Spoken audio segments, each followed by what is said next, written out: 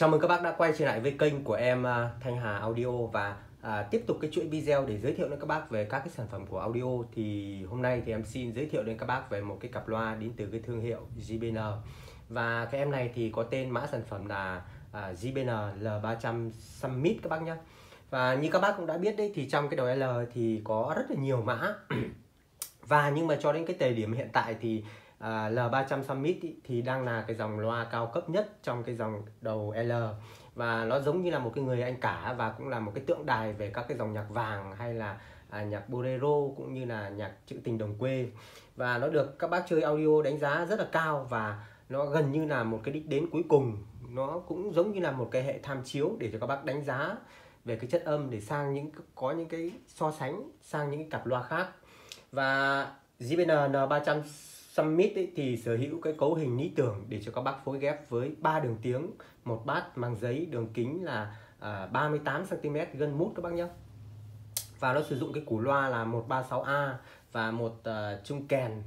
Và nó sử dụng cái củ là à, uh, LE85 và cái họng kèn là H92 các bạn và nó sử dụng thêm cả một cái tép rìu hay các bác gọi là cái tép kim cương ấy ạ nó sử dụng cái củ là 077 và nhưng mà thực chất thì nó cũng không phải là à, tép nó bằng kim cương đâu các bác nhé nó chỉ là bằng nhựa thôi ạ. Không phải là bằng kim cương nếu như bằng kim cương thì em đã bán đi từ lâu rồi ạ. Thì à, cái điểm ăn tiền ở trên cái con L300 Summit ý, thì là nó sở hữu cái họng kèn và nó khắc phục được à, à, những cái tiếng nhẹ và mỏng ở trên cái chung giấy của hãng. Đấy và các bác thì vẫn nghe được cái sự khò khè và nó chậm rãi ở trên cái trung kèn và nhưng mà các bác lại vẫn có thể là nghe được cái giải cái lung linh ở trên cao trên cái con tép 077 đấy ạ. Rất là có giá trị. Và như các bác cũng đã biết đấy thì à, các cái dòng loa màng giấy thì đều cho các những cái tiếng bát gọi là trầm ấm và nó nhẹ nhàng và nó không có hiện tượng à, nghe lâu nó không có hiện tượng bị đau đầu. Đấy rất là hay. Và cái điểm ăn tiền cuối cùng trên L300 Summit ấy là nó cực kỳ là dễ phối ghép và các bác cũng chỉ cần là um, một cái con Acufay E450 thì cũng cho ra một cái, cái âm rất là tuyệt vời rồi. Đấy rất là dễ phối ghép độ nhạy cao với à, uh, 92 dB và với trừ kháng là 8 ohm. Đấy cực kỳ là dễ phối ghép. Đây thì là một cái cặp loa đẹp xuất sắc và nó zin toàn tập từ trong ra ngoài. Nguyên chỉ có là à, cái gân mút đã bị thay thế là do cái khoảng thời gian kéo dài đấy thì bắt buộc là phải thay thế do mục đấy. Thì uh, đây là một cái cặp loa cực kỳ là hay cực kỳ là hầm hố các bác nhé. Các bác vừa chơi vừa trưng bày thì nó rất là đẹp rất là tuyệt vời đấy. Và sau đây thì em cũng xin được uh, quay qua để cho các bác cùng uh, uh, thưởng thức xem là nó đẹp như thế nào và nó hình dáng hình thù nó như thế nào các bác nhé.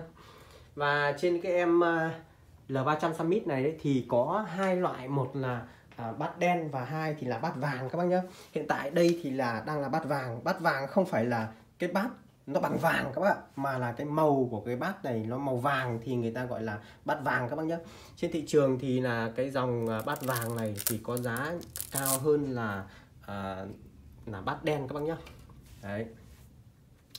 Đấy họng kèn thì cực kỳ là to tép rìu gân đã được thay thế rồi. Rất đẹp bên này cũng vậy ạ. Đấy bên này thì em còn để cái suối ở đây. Đấy. Sáng quá. L300 Summit. Bên trên này thì là cái mặt gương. Nó giống như là trên cái con à, L65 Dubai ấy ạ. Và thùng của em này thì là à, bằng gỗ lạng các bác nhá.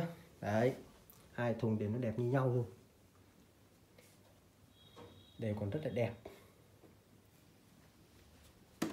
Đấy. Cầu loa thì à, còn zin theo loa và e căng của nó đây ạ. Và thêm một cái nữa thì là ở bên để bên này. Đấy. Thì đây là một cái cặp loa nó cực kỳ là to các bác nhá. Nếu như mà các bác có cái không gian rộng từ 35 40 mét trở lên thì hãng bắt đầu mới uh, cân nhắc về chơi cái cặp loa này. Tại vì là nó to lắm đấy ạ. Thì các bác nhìn thấy các bác nhìn các bác hình dung nhá thì cái nhà em nó to như thế này mà còn để hai cái cặp loa này tức là không có cái chỗ mà để những cái cái cái khác vào giữa rồi. Đấy vì vậy mà các bác mua loa thì cũng phải cân nhắc trước khi là uh, mua một cặp loa về thì cũng theo cái cái cái cái thông số của em đấy. Và cái cặp loa này thì có cái chiều ngang là à, uh, 58,4 và chiều cao thì là 80.3 và chiều sâu thì thì là 57.2 các bác nhé và em này thì là nặng 66 cân cho một chiếc loa các bạn. Vậy vậy là hai cái loa này thì nó nặng gần một tạ ba. Đấy cực kỳ là nặng. Và cái cặp loa này thì bên em về hàng thì hình thức là đẹp xuất sắc và à, nó chỉ có cái mức giá là 125 triệu thôi các bác nhé đấy các bác quan tâm về cái sản phẩm này thì hãy liên hệ trực tiếp với em qua số điện thoại em có để phần mô tả và em cũng xin được uh, dừng cái video này tại đây ạ. Cảm ơn các bác đã dành thời gian theo dõi video và uh, nếu như mà các bác thấy cái video hay và video ý nghĩa thì cho em xin một uh, like và một đăng ký kênh để tiếp tục là uh, nhận những cái video tiếp theo từ em uh, Thanh Hà và em cũng xin được dừng video này tại đây ạ. Cảm ơn các bác đã dành thời gian theo dõi video ạ.